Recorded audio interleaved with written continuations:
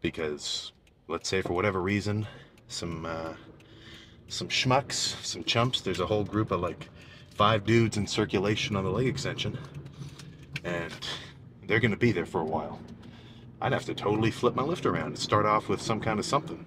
Gimped on the uh, the intro to the workout commentary.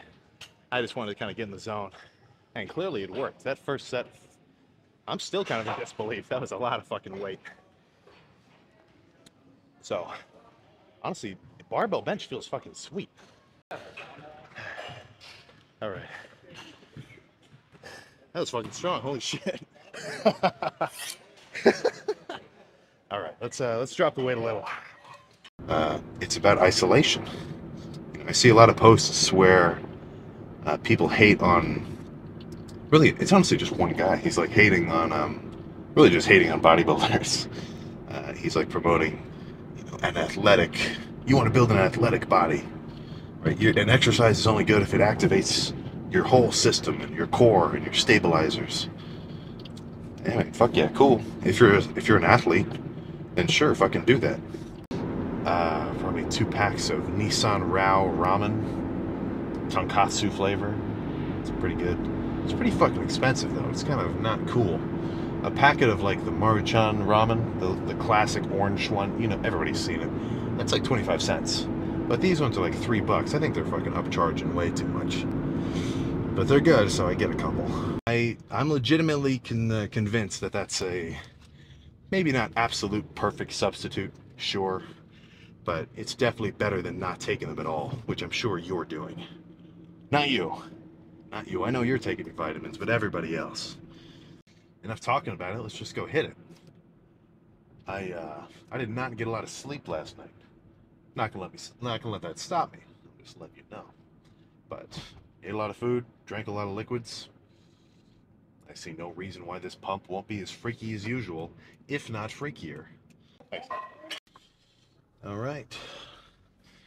Back again. But we're not to hit back again. It's a leg day. It's been like, fuck. It's almost been a week since I hit legs. Why the fuck aren't you taking creatine, man? More ATP production, bro. Scientifically proven more gains.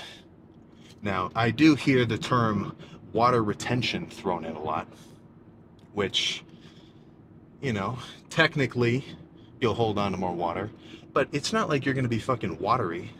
You know, I think people, you play up the term watery because you hear people like, you know, Chris Bumstead or actual competitors talk about, oh, the, oh I'm watery, I'm holding a lot of water. That's not going to fucking change the way you look. Go a couple of, oh, so there's a lot of shit you can do that's only offering you marginal gains, which I think you guys would well, not you specifically. I'm not talking about you. I know you're trying to do everything you can to get bigger. But everyone else, you know, I know dudes that are like, yeah, I don't know. I just don't really do creatine. Yeah, I don't like pre-workout. It, uh, I don't want to be dependent on it. I don't really take my vitamins, you know. I just, I just eat whatever. And I don't really do protein shakes. You know, I eat, I get protein from my food. Let's think of a couple others. It's gonna end up being a, um, a quads only day. Because I'm a fucking asshole. I get a little bit uh, got a little bit irresponsible with my time management. Just shit's going wrong, and that's hyping you up. Like, sure, you'll get a good lift. You know, you'll go hard, but you know, who wants to feel like that all the time, right? The best lifts for me are the ones where, you know, every set I fucking just go bananas, and then in between sets, all I get to think to myself is, oh yeah, that was a good set. All right, let's do another one.